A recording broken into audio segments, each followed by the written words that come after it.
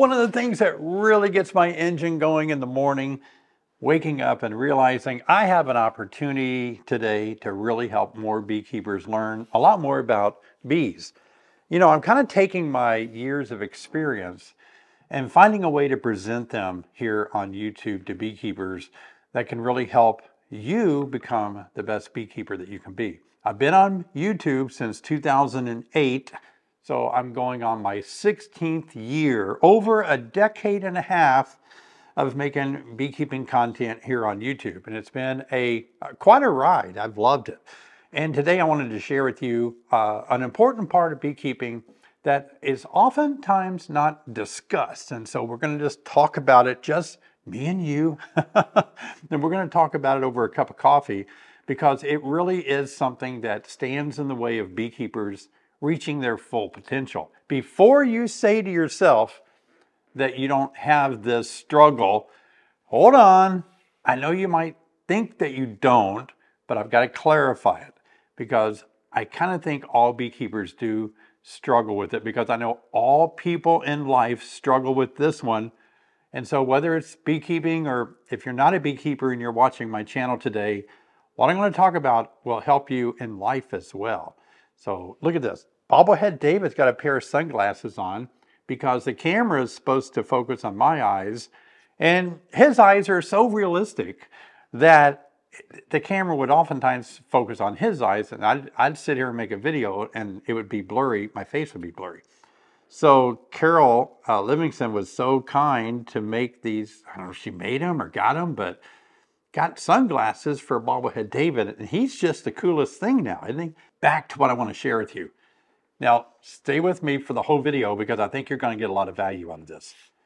The problem that keeps people from really becoming the beekeeper that either they want to be or they aspire to be is that they are struggling with fear.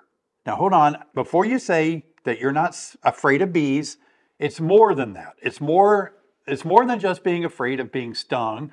It's more it's more than just being afraid that your bees may die.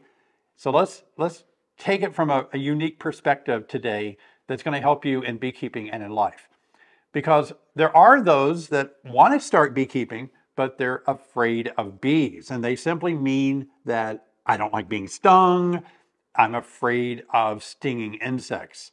And so there's that. Then there are people, beekeepers, that say, I'm afraid I won't be good at it. They're not really afraid of bees. You know, maybe they're tough, maybe they're used to working farm animals and such. And so they're not really afraid of bees, but they're afraid of not being successful at keeping their bees alive. And they're struggling with the idea of can I can I get it? Can I do it?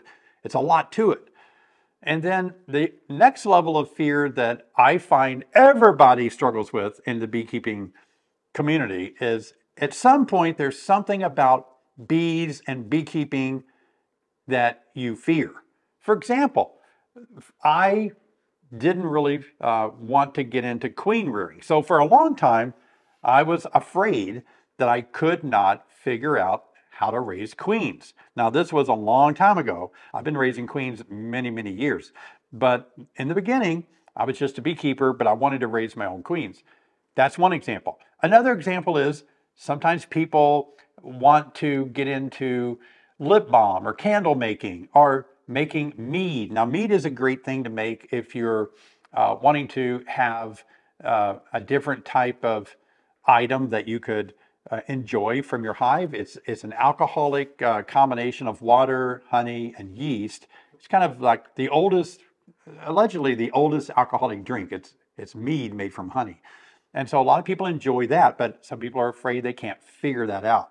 So fear is what holds us back from reaching our full potential. It's amazing if you stop and think the number of things that we haven't done that's because we're afraid. Now, I know a lot of you are probably thinking, I'm a tough guy or I'm a tough person. I don't have to, I don't have any fear. I, I don't fear anything. You can say that all you want to, but I'm telling you, there are times that we fear something and we don't pursue it because we fear it. And even though you might think you're tough, you're not afraid, you fear nothing, maybe fear isn't the best word, but there's an apprehension, there's an anxiety about doing something that keeps you keeps us from doing it. And when we don't do it, we're missing out on reaching some full potentials. Now, one of the things that that I force myself to do, and I've I've done this uh, most of my life, and that is I know I'm going to fear it. Fear is something I have to face because as a person, we're supposed to be afraid of things. It's good that we have fear. You get too close to the edge, my gosh, I hope you fear falling over the edge, right? That's why little kids crash a bike and they can't, they get, they get scared of trying to get on the bike again because it hurt to fall off. It's, it's a protective way that we stay alive. We have healthy fear. And so that fear is, it's in us and we have to struggle with it. But there comes a point when if we let fear have too much of a place in our thought processes and our life, then it keeps us from reaching not just our full potential, but it keeps us from doing what we enjoy. My wife is a good example. I'll use Sherry as an example. She loves to travel. And so she has, um, she's traveled a lot. She and I have traveled a lot over our lifetime. And she oftentimes says, I'd like to try visiting this place or that place. But then she realizes sometimes I don't go with her because I'm busy making videos for you guys or something.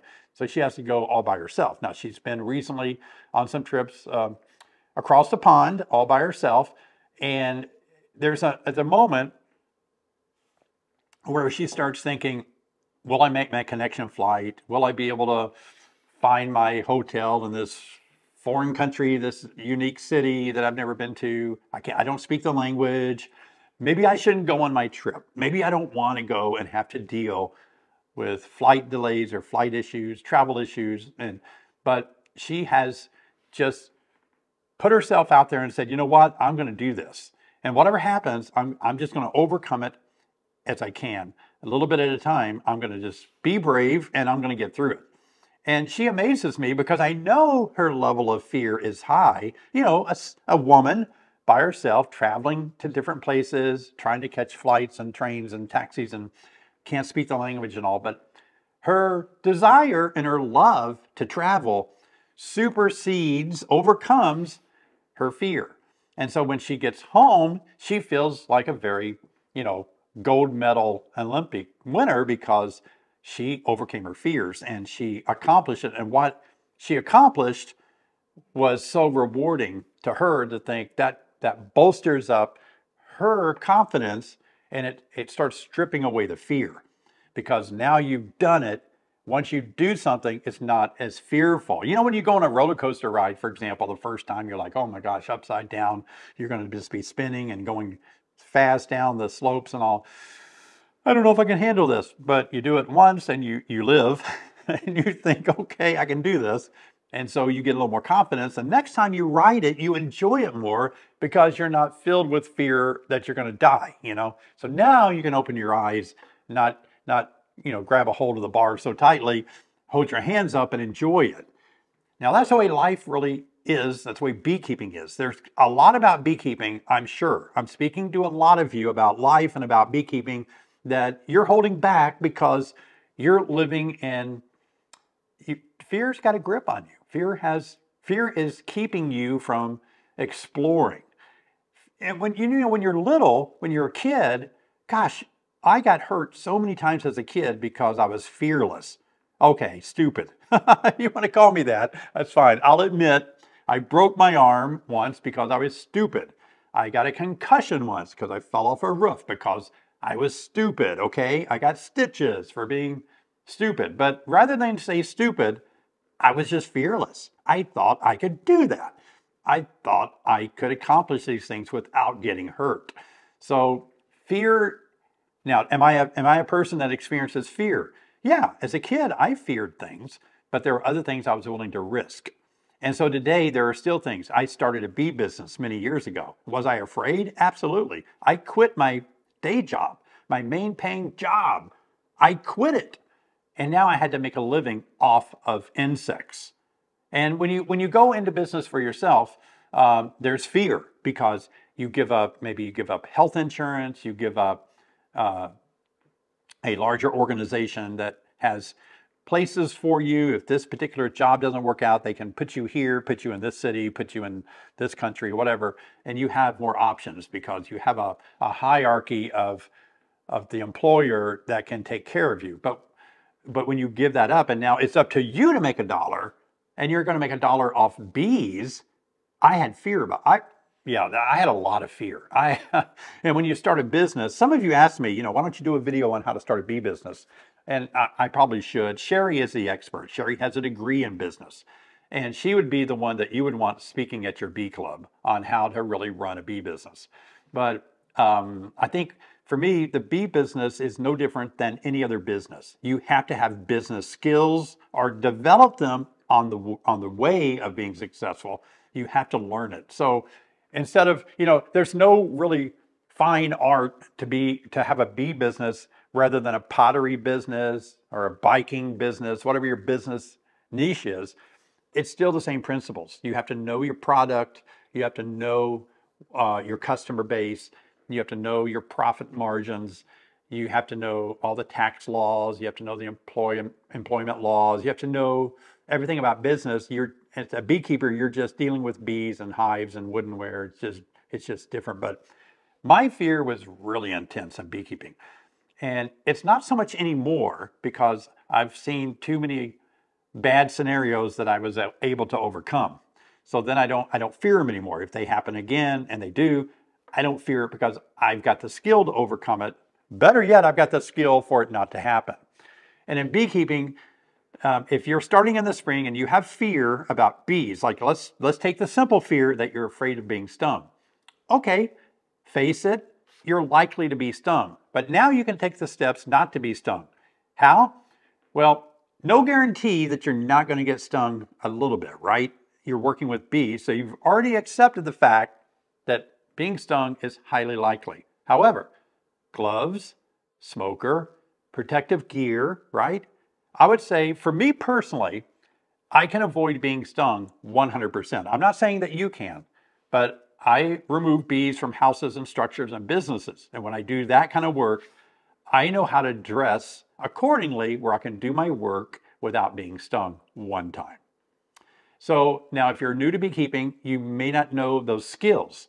Like you may wear the wrong type of veil and the veil may kind of, the wind may blow it against your nose. Or if you're working on a building removing bees and your veil is like the like a parka hat veil that's kind of like this. You look up and the veil falls against your face. Anywhere where that veil's touching your face, for example, a bee can land there and sting through the veil. So that's why you see me wear the round veils around my head so that the mesh doesn't go against my face. So I know all of those techniques, how not to be stung, but they are hot. And most of the time I work bees, I have very little protection on you'll you'll never really ever see me without a hat and a veil. I always wear a hat and a veil because I want to protect my eyes, my lips, my nose, you know, ears, forehead, temple area that's sensitive. So you can take the necessary steps to avoid being stung as much as possible. And once you get stung somewhere, like for example, you might get stung on your socks, and you think, oh my gosh, I didn't realize there's a gap between the bottom of my bee suit and the top of my shoe. Lesson learned, right? Okay. And now you know that you have to wear boots and you have to strategically place your bee suit. I like to place it on the outside of my boots if I'm working a very hot hive or removing bees all day long. Sometimes I've been known to tape with Gorilla Tape or masking tape or something my bottom of my bee suit to my boots, but the boots come up inside my suit.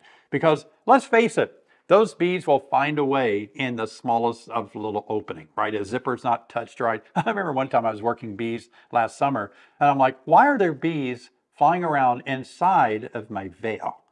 Why? And then I looked down and I had just forgotten to zip my veil that zips up to your suit. So you can pull it back or pull it forward and zip it up. I just forgot to zip it up. They found a way in. Now, they didn't want to sting me. They were just curious and got into my veil.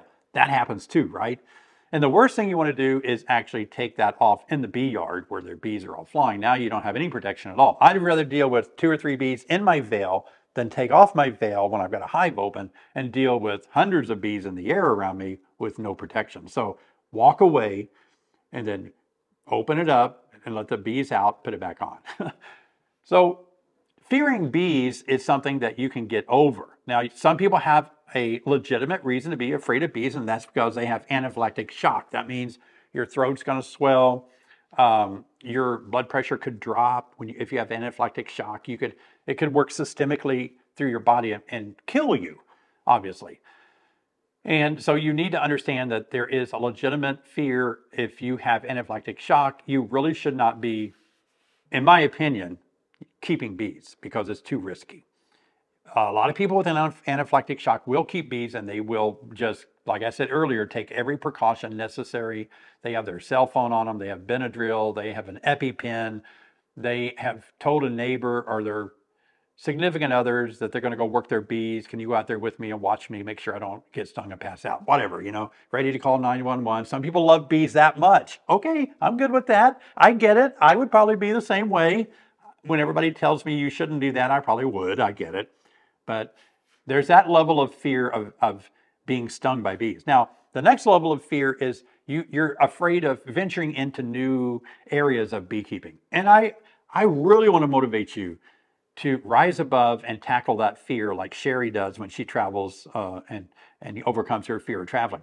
You've got to overcome that and say, I want to raise queens. Why do I fear that I can't be good at it? Who cares if you're not good at it at first? All right, you're not good at it. You will get good at it. You won't get good at it until you jump in and do it, right? Practice makes perfect. Actually, perfect practice makes perfect. But until you practice stuff, you're not going to be good at it anyway. So why fear failure? The only reason you should uh, fear failure is fearing ever to start trying. You know, uh, we're all going to fail when we start out. It's rare a person could start any type of, of business, hobby, beekeeping, anything, queen rearing, and be perfect at it from the very get go. That just doesn't happen. If you're that person, you're just flat out lucky and we're jealous. So you're gonna, you're gonna have to overcome the fear of starting.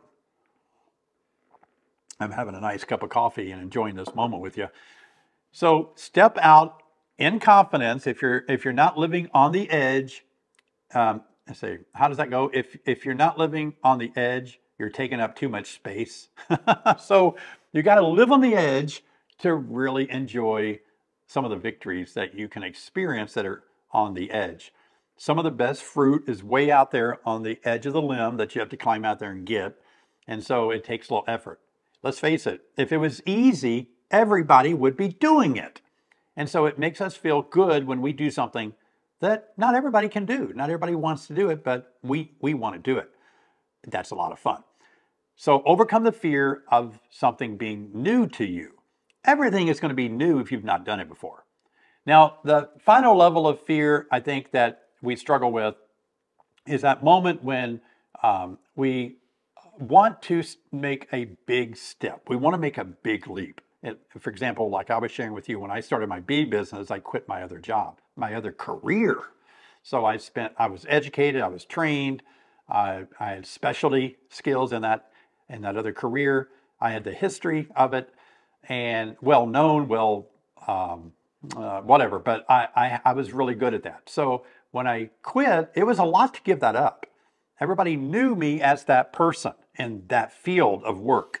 And they couldn't believe that I wouldn't do that anymore. I gave that up uh, before retirement, so, so to speak. So, but it wasn't that beekeeping was something that I wanted to get into so bad that I, I gave up my other career. It was that I wanted so badly to give up my other career and I had a love for bees. I had a love for beekeeping.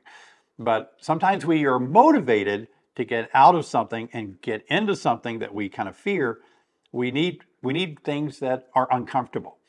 So anytime you're experiencing being uncomfortable, that you're not happy where you're at, sometimes not being happy is the motivating factor to get you to, to prod you to overcome your fears and to try something different, to try something new. It's okay to even be, you know, if I would have started my bee business and it didn't work out, I didn't like it, okay, I've got other skill sets. I've ran computer businesses before.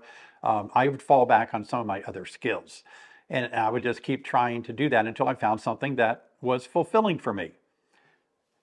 Fulfillment is better than happiness. That's my opinion. I may be wrong, I'm not a philosopher, but I have lived long enough to realize I can be happy today But later today, I can be sad. My happiness can leave me. It might be temporary, you know what I mean? Fulfillment stays with me. I liked pursuing living a fulfilled life. And for me, I do, I am living a fulfilled life.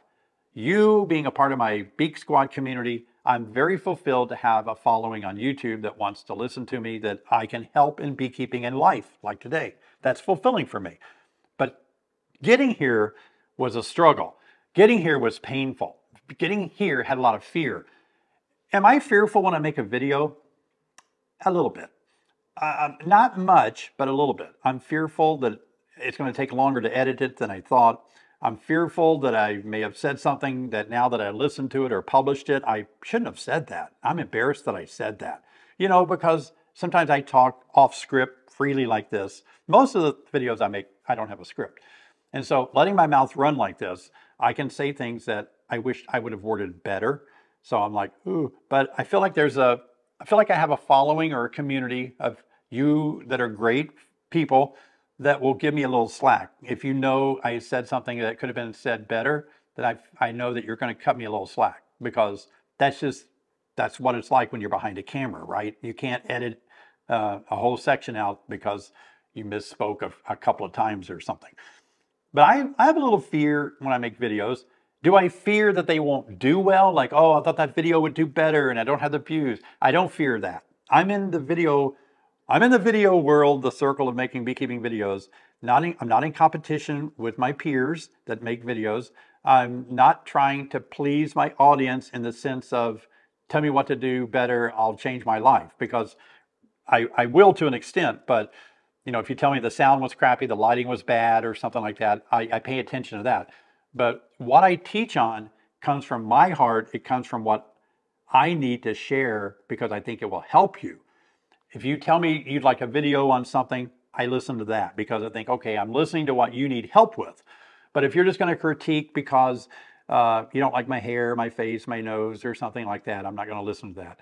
So, but I do, I do have the ability to overcome fear of getting in front of a camera. Um, I've in my other career, I was always in position of training others and evaluating uh, what I was saying and how it was effective on other people. So I, I'm not fearful of being in front of people. I'm not fearful of a camera. It's awkward, but I'd rather, if you were sitting across from me right now, rather than that black circle that I'm talking to, I would be a little more comfortable than I am right now. Although I'm very comfortable today talking to you because I'm, I'm seeing you and me as a friend and we're just sharing together. So I still have fears on other things. I'm getting ready to hop on a plane in a few minutes to head to Nevada. I'm looking forward to that. Uh, being with a lot of beekeeper friends, a community, I'm going to be able to spend some time with Garrett Slater, with John Zawislak, Dave Tarpy, Randy Oliver, other great speakers out there that I know that, that we've had conversations with before. Uh, three days of just beekeeping nonstop, no fear at all in that. I don't fear flying. I love to fly. Um, I don't fear traveling. I've traveled a lot. I, I enjoy all that. A little bit of fear because I, I have to make sure I connect correctly to all my connection flights. I don't want to miss a flight. I'm picking up people at the airport in my rental car. I don't want to keep, I don't want to miss my flights. And I mean, if I do, it all works out. Um, I could stay home. I could, I've spoken seven times already this year in seven weeks, I think.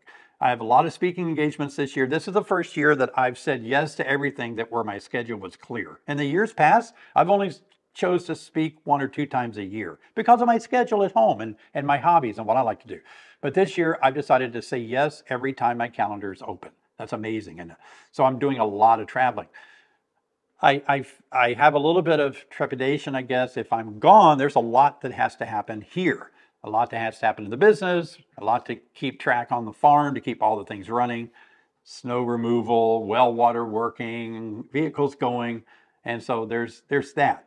But all in all, I don't want to be an old man that sits at home and watches TV. So I force myself to say, I'm going to get out, I'm going to speak more, I'm going to travel more, I'm going to be more active. I'm going to, here's an example. I, I love cycling. And I've always been a cyclist since I was a kid. I did some bike racing in my 20s and 30s, 10 speed bikes, you know. I like to bike. Am I and I'm on the road biking with cars and traffic. Do I fear being ran over by a car, somebody texting or looking at Facebook while they're driving? Absolutely, I do fear that. I've got a little radar unit that's on the back of my bike that shows me on my bike computer cars coming up behind me. I that's helpful, but it's not going to save my life. Could I be ran over by a car? Absolutely. Do I fear that? A little. But I can't let that keep me from biking. I try to choose my routes better where there's less traffic, but you know, I'm on the road. I'm not going to sit back and give up biking because people are idiots on the road and they're using their phones while they're driving and not paying attention to bicyclists on the road. I'm not I'm not going to sit at home and in fear and give up something that I've loved all my life. It's risky, but hey, waking up in the morning is risky. Getting out of bed is risky, okay? Driving to the grocery store is risky. Everything's risky. Beekeeping, risky. Beekeeping is enjoyable. Whatever your fear level is, cowboy up and don't let fear keep you from being what you want to be, what you would enjoy being. Now, if you uh, enjoyed the talk today, the coffee time, I've just made another video that you might really enjoy a lot. Um, it's, it, it, it's a video that's really going to help you, I think, be motivated and understand all the different ways to view hives today. There's so many new hives coming out. And if you're, especially if you're new starting up, you don't know which hive you're supposed to get. A flow hive, uh, a keeper's hive, an Apimaye hive, uh, a Langstroth long, a Langstroth, a Layens hive. There's so many different hives. Got a video right here that'll help you out. I'll see you guys over there.